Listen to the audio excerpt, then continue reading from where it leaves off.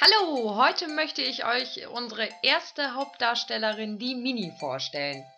Mini ist unsere älteste Katze, ist jetzt viereinhalb Jahre alt.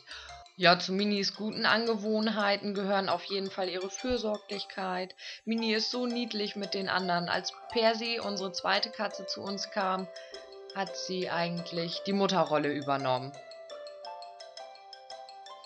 Dann ist sie sehr kuschelig, uns Menschen gegenüber. Also sie darf dann auch zwischendurch mal mit ins Schlafzimmer und unter die Decke kommen zum Kuscheln.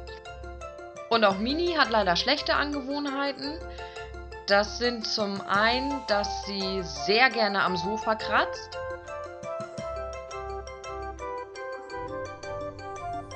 Ja, und Mini frisst Pflanzen. Jeglicher Art.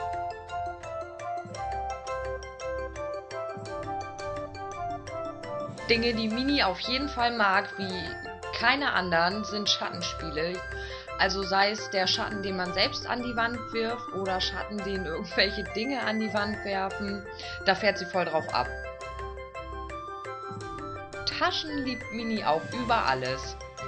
Ob sie sich in die Taschen reinwühlt oder irgendwas rauspult oder sich einfach nur ganz demonstrativ draufsetzt, Taschen sind voll ihr Ding.